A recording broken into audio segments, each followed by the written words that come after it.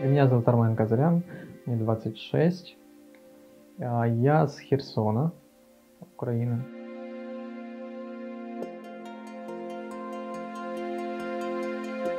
Занимался еще рисованием.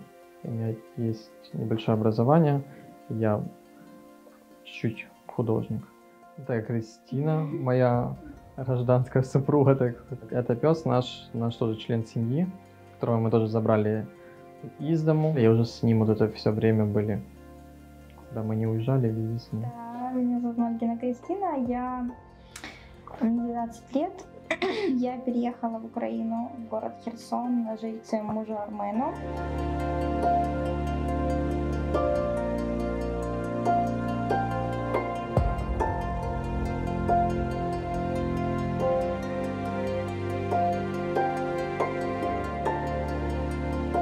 Армену. Мы с Арменом познакомились в игре компьютерной. Такая League of Legends. Сейчас все в нее играют, она очень популярная. Вот, мы с ним познакомились там и начали так уже тесно общаться. Потом перешли на другие соцсети. Два года, да? Не, а вот, Год. вот полтора где-то. Ну, где-то полтора года.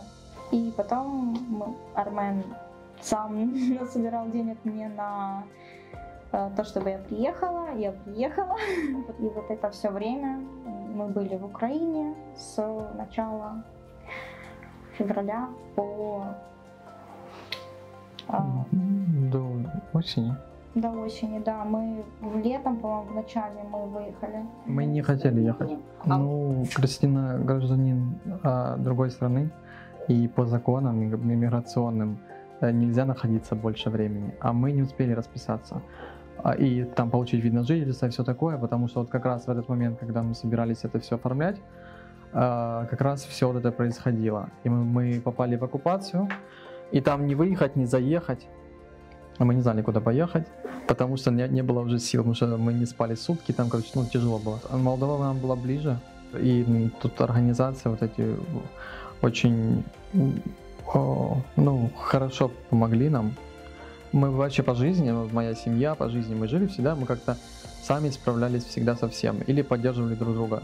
Сейчас, когда такая ситуация, мне тоже тяжело было как-то, ну, вот то, что вы мне помогли, это уже, ну, очень многого стоит.